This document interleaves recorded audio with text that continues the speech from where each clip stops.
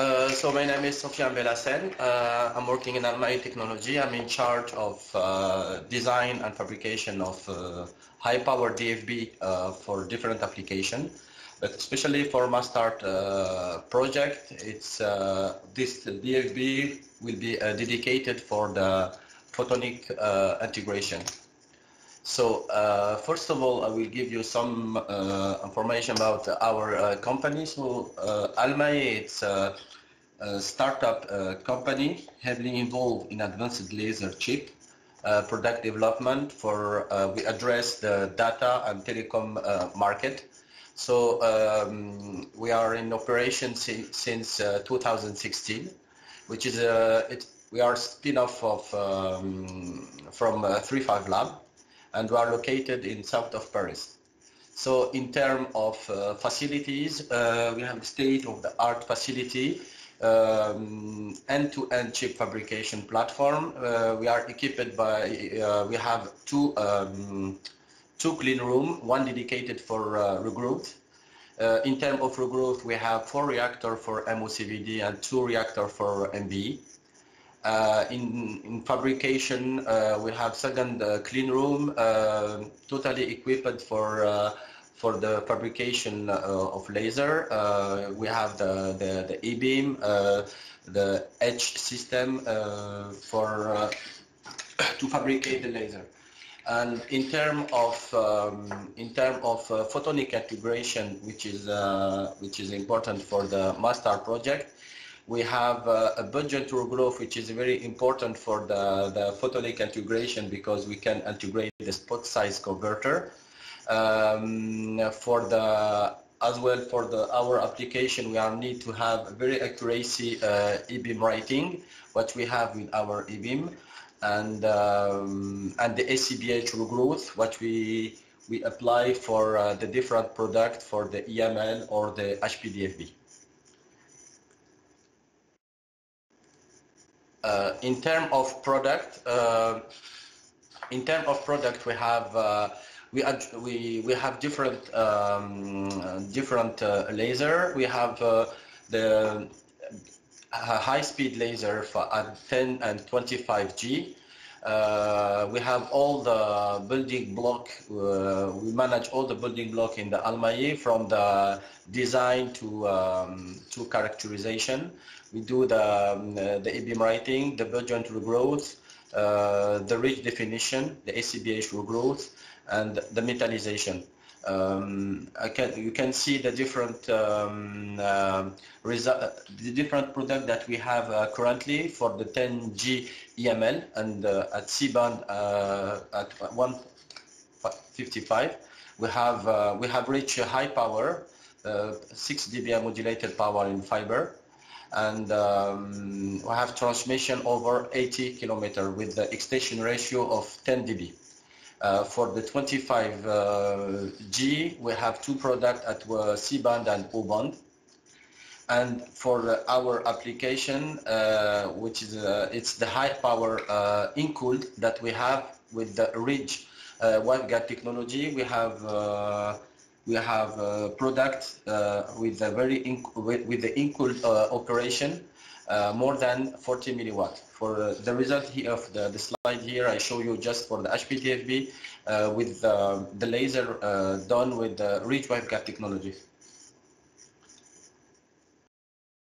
So uh, regarding our object, uh, our uh, our goal in MASSTART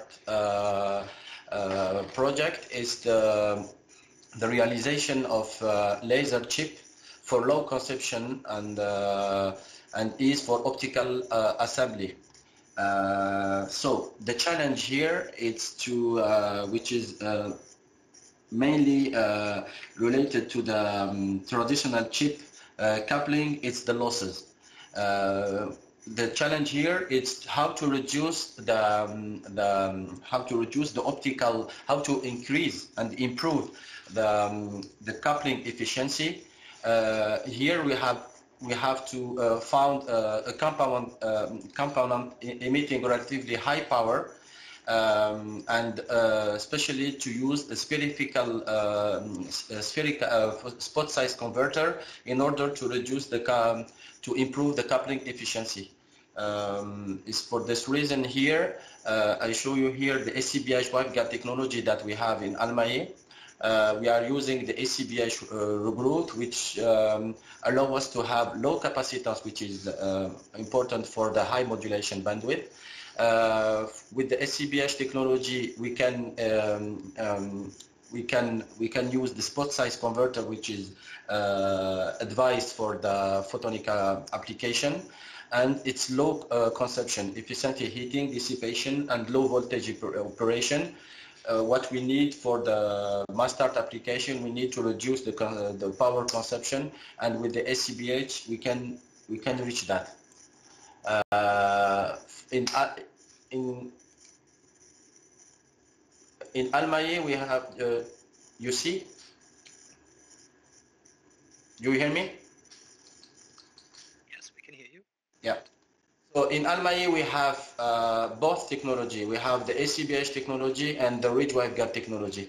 Uh, but for the photonic uh, integration, the more how, how, hmm, as explained before, the more uh, the, the, the the adapted technology is the ACBH because we can use the spot size converter and um, and reduce um, and reduce the um, and reduce the power consumption. For the ridge uh, waveguide, it's not advised. Um, second thing, it's very important to have good accuracy when we when we address the different uh, channel, and uh, by uh, using our e-beam writing, we can uh, we can we can we can have a high uh, yield of laser and accurate wavelength control around uh, plus minus uh, one nanometer, which is very uh, uh, helpful for this uh, for our needs. The sec the third parameter is the the how to choose the how to choose the material system if you want to reach high power, high uh, temperature operation for the wide range um, temperature. Uh, we have two different uh, material. Here I show you the um, the comparison between the conventional uh, uh, quaternary phosphor material uh, against uh, aluminum-based material for the equal at 1.3 micron. The main problem related that we have with um, phosphor material is the overflow of carrier when we increase the temperature, as you can see here. Do you see the mouse? Yes. Okay. So the difference, uh, the main problem with the, if we work with the phosphor uh, material, it's when we work at 1.3 micron, the, um, we, we, will not have uh, confinement of carrier in the quantum well, we will have overflow which means that we cannot reach high temperature. It's for the reason it's very interesting to work with uh, this quaternary material based on uh, aluminum base because we have very high confinement of electron if you compare with uh, phosphor. Uh, the difference, uh, it's uh, um, the confinement for the electron, it's 72% in the aluminum and 40, 40% in the phosphor which means that uh, the aluminium it's very uh, it's very um, we, we, we, we will focus our work with the, on this uh, material system if we want to reach large temperature uh, range. It's the only thing it's uh, when if you want to use this material with the SCBH technology we have uh, especially damage and uh, contamination, which um, mainly uh, occur in the, on the sidewall when we etch uh, the ridge. Uh, I show you here uh, typically the, the problem that we have when we use the aluminum-based CBH technology.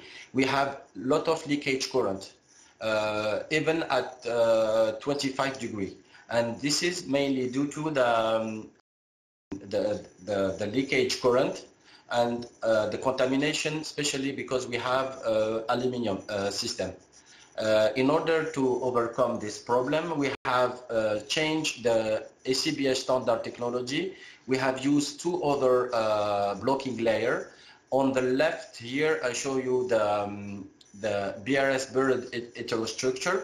When we here we have removed the ACBH layer and replaced it by um, P layer.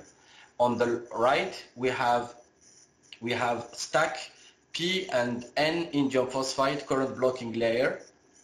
And in order to improve and reduce uh, the leakage current. On the next slide, uh, here I show you what we had last year uh, by using the standard ACBH. We see that here the red curve here that we are really limited at 25 degree. We never exceed 20, uh, 20 milliwatt.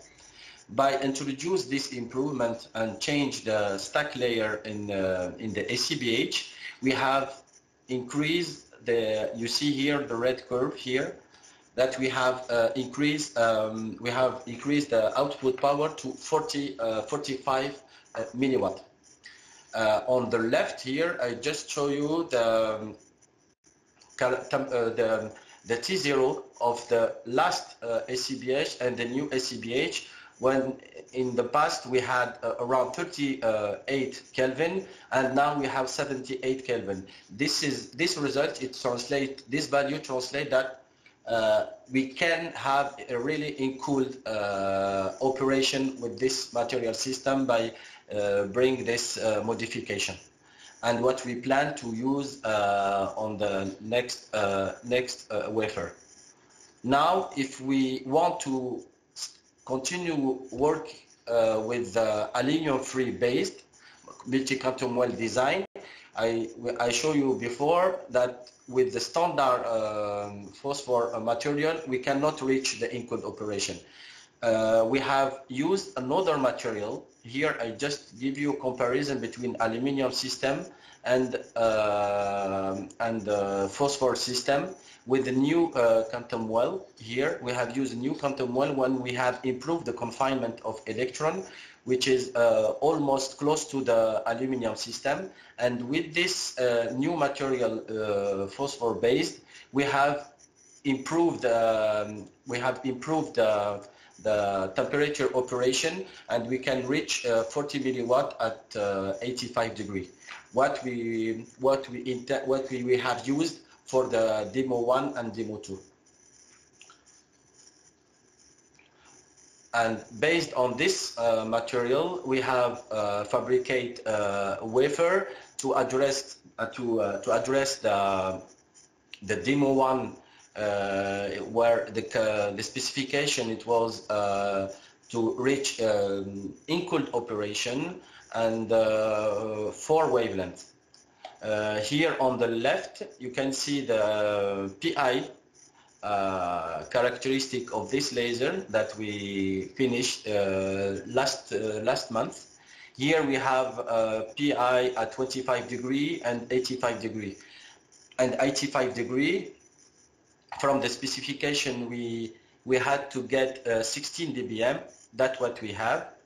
16 dBm at around uh, two uh, at around three uh, yeah at around 250 uh, milliamp and in terms of uh, wavelength we have SMSR uh, over 45 dB and we we have a wavelength around 1311 nanometer and we can we, we, we, we can say that we, we have fulfilled all the specification for the demo one. For the demo 2, uh, the specification was to uh, to have uh, eight channel uh, with wide um, wide uh, we, we have to cover eight channel from 12, 1273 to 1309 which is really difficult to because here we need to cover uh, at least 30 38 nanometer here I show you the PI uh, on the left, you can see the, the PI of the, the laser at 45 degree. All the channel are exceed the 60, the 18 dBm. And here on the right, you see the, the spectrum. We have addressed all the, the channels and with the SMSR uh, over 35 dB. Uh, also for the laser voltage, we have always less than 1.6 uh, voltage. uh, volt, uh, sorry. Uh, so in terms of, uh, I can conclude that thanks to our semi-insulating isolating bird heat platform, we have we have fulfilled all the specification of demo one and demo two in terms of uh, temperature operation and uh, uh, channel.